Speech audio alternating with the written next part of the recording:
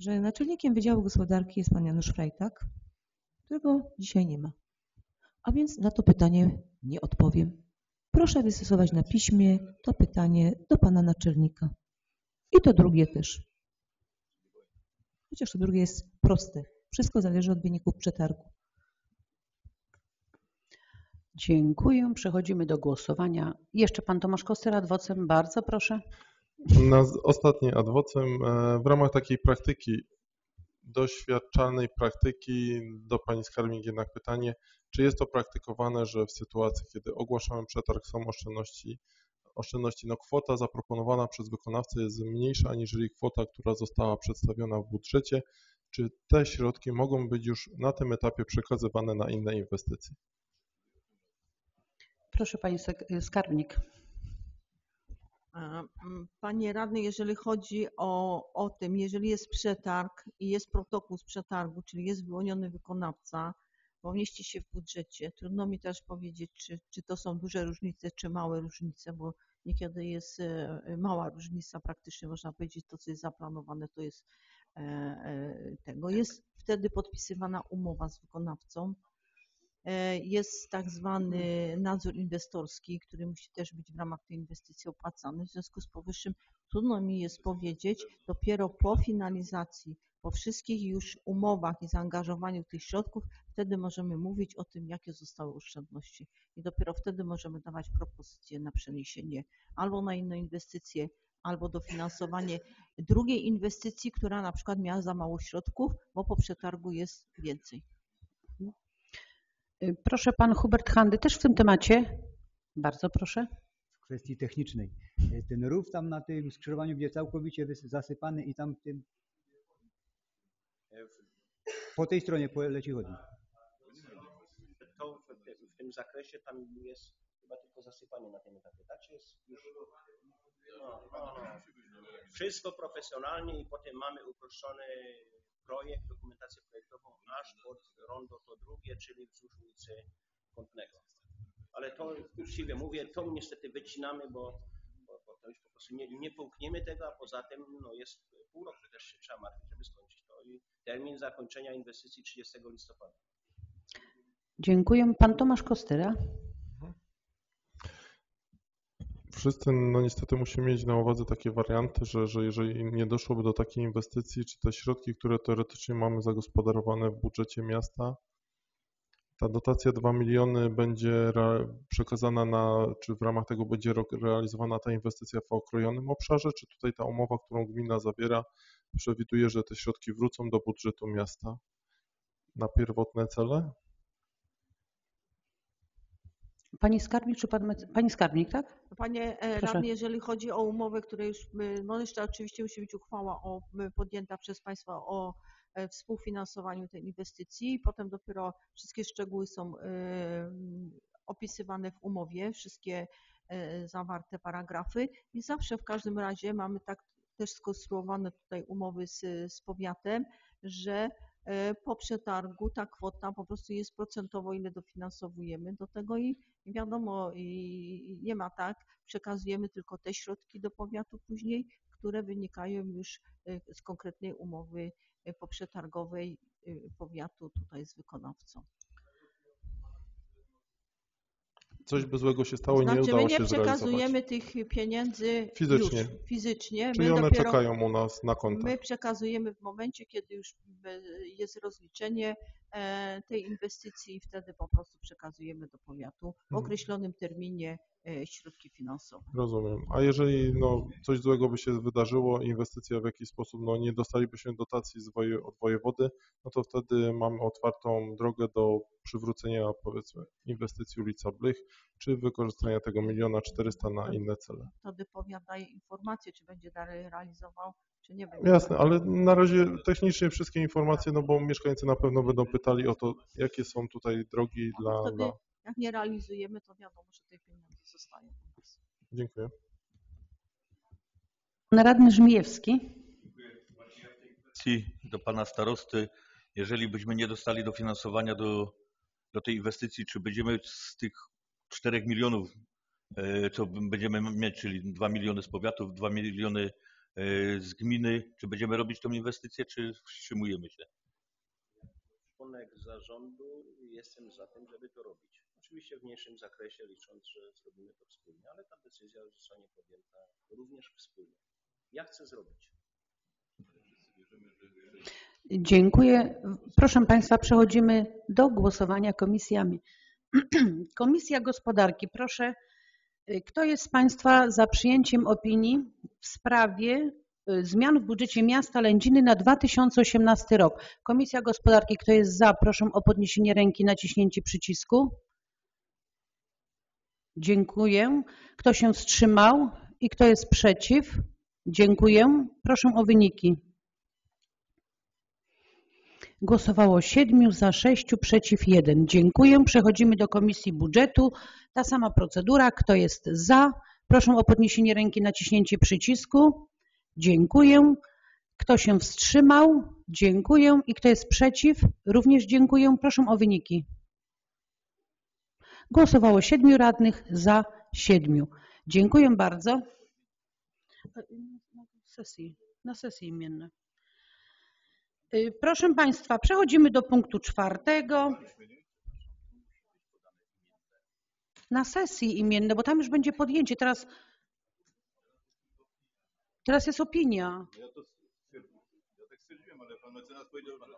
Proszę Panie Mecenasie, proszę włączyć. był złożony wniosek formalny o głosowanie y, nad opinią imiennie. W związku z tym no, powinien być ten porządek zachowany w postaci tego, żeby ten wniosek w jakiś sposób przegłosować. Czy głosujemy nad tym wnioskiem, czy przegłosowujemy ten wniosek o głosowanie imienne w ramach opinii? Aha, głosowanie. A był wniosek głosowany wcześniej? To powinny być powtórzone głosowania co do opinii. To, no to proszę Pani Aniu, to proszę zapis jest. Proszę. Ale jest zapisane tutaj. To jest projekt uchwały.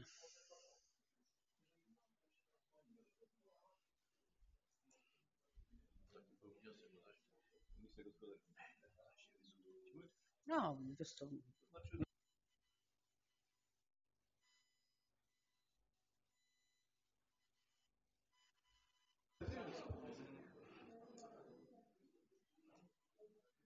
Głosowanie nad uchwałą, to się tak. Czyli Komisja Gospodarki. Proszę. I nie, po kolei wszystkie głosy, tak? Y, Karol Kolny, tak. Hubert Handy, tak. Halina Sinder, tak. Aleksander Koziol, tak. Tomasz Kwoka, tak. Robert Brzmiejewski, tak. Brak uprawnień, brak, brak. Y, Aha, Tomasz Kostyra, nie. Proszę teraz Komisja Budżetu.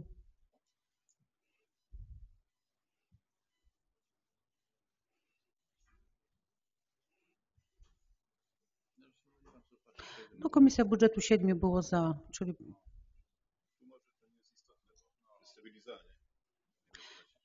Dobrze, po, przeczytam.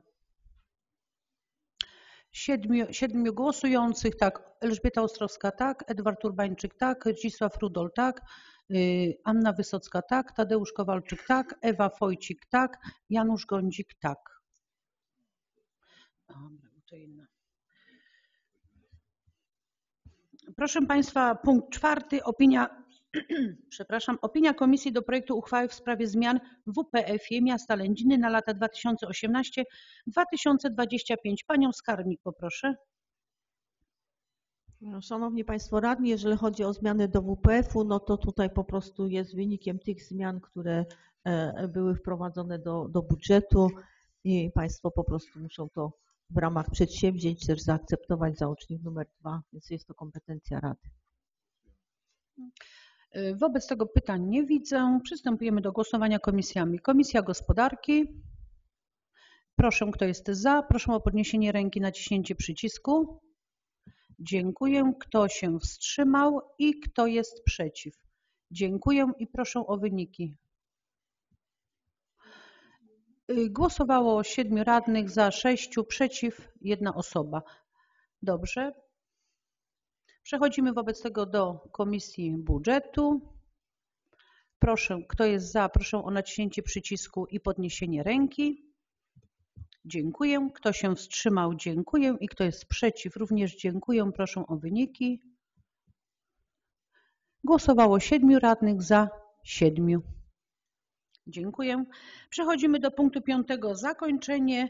Dziękuję Państwu radnym za udział w posiedzeniu Komisji Stałych Rady Miasta. Dziękuję Pani Burmistrz, Panie Skarbnik, Panu Mecenasowi. Dziękuję szanownym gościom z powiatu. Dziękuję mieszkańcom, przedstawicielom prasy oraz Paniom z Biura Rady Miasta. Proszę Państwa, zamykam posiedzenie Komisji Połączonych Rady Miasta i my przechodzimy do sesji nadzwyczajnej. Y, Goście zostaną z nami, czy opuszczają nas? Aha, dobrze. Dobrze, to dziękujemy bardzo. Pozytywne głosowanie.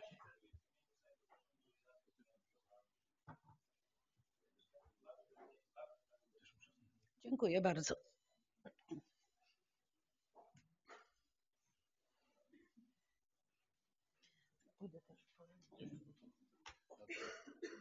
Mnie nie wypada.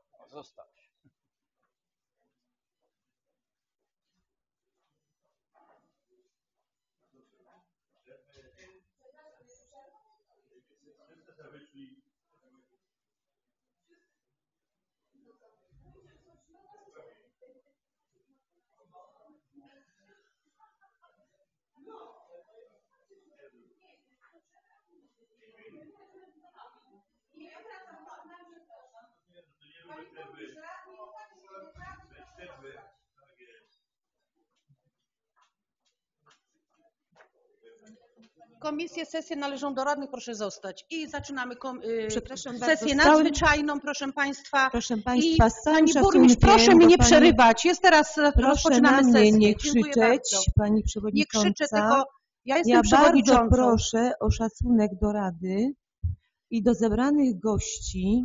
Pani burmistrz, ja jestem przewodniczącą Rady Ja- Miasta i ja prowadzę sesję i komisję. Ja Udzielę Pani głosu i będzie Pani Pani musi udzielać głosu i mówiła. Pani dobrze wie, że zgodnie z statutem mogę zabierać w każdej Ale nie przed przewodniczącą. Ja udzielę Pani głosu. Nie ma tak w statucie napisane i Pani proszę sprawdzić w statucie, bo Pani naprawdę teraz przesadza i krzyczy Nie, na mnie. Pani burmistrza nie przesadza. Pani Dziękuję Przewodnicząca, bardzo proszę o szacunek dla Rady Miasta i zaproszonych gości.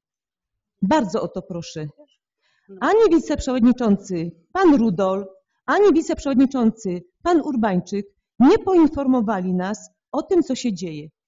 Z całym szacunkiem, proszę Państwa, jesteście naszymi przedstawicielami, a przede wszystkim radnych i powinniście poinformować, czy robimy przerwę, czy biegamy sobie po sali, bo naprawdę było zamieszanie. Przepraszam Was bardzo, ale wypadało wyprowadzić gości i pożegnać. To wystarczyło.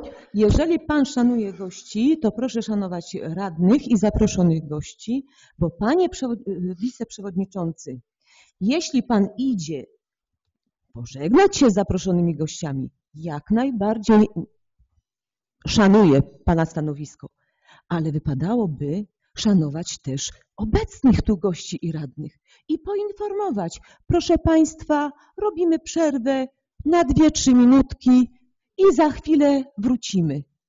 Jeżeli Pan szanuje zaproszonych gości, to chcę przypomnieć, że też jestem zaproszonym gościem, Panie Wiceprzewodniczący. Wielki szacunek do Pani Burmistrz.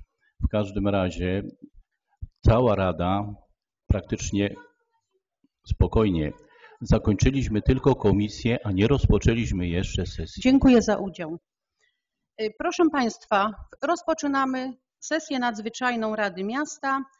Na podstawie artykułu 20 ust. 3 ustawy z dnia 8 marca 1990 roku oraz paragrafu 26 ust. 1 Statutu Gminy Miejskiej Lędziny otwieram 54. nadzwyczajną sesję Rady Miasta Lędziny siódmej kadencji. Serdecznie witam radnych siódmej kadencji. Witam pana mecenasa, y, który będzie dbał, przepraszam, o zgodny z prawem przebieg naszej sesji. Witam panią skarbnik, witam gości, witam pana radnego Henryka Barcika, witam mieszkańców i przedstawicieli prasy. Proszę państwa, na sali znajduje się 15 radnych, wobec tego obrady są prawomocne, a podjęte uchwały wiążące. Przechodzimy do punktu drugiego, proszę Państwa, przyjęcie porządku obrad. Tu również y, porządek obrad zostaje poszerzony o zmianę w WPF-ie miasta Lędziny na lata 2018-2025. Jest taki sam porządek posiedzenia jak komisji. Wobec tego proszę Państwa radnych o przegłosowanie porządku posiedzenia naszej sesji. Kto jest za przyjętym porządkiem obrad? Proszę o podniesienie ręki, naciśnięcie przycisku. Kto jest za? Dziękuję. Kto się wstrzymał? Również dziękuję. Kto jest przeciw? Również dziękuję. Proszę o wyniki. Głosowało 15 radnych, za 15.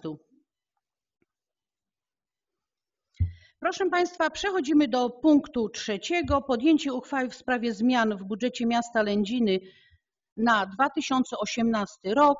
Myślę, że już dyskusji nie będzie. Wszystkie tematy zostały wyczerpane. Wobec tego przechodzimy do głosowania nad projektem uchwały. Pana wiceprzewodniczącego proszę o odczytanie tytułu projektu uchwały. Uchwała Rady Miasta Lędziny z dnia 11 kwietnia 2018 roku w sprawie zmian w budżecie miasta Lędziny na 2018 rok.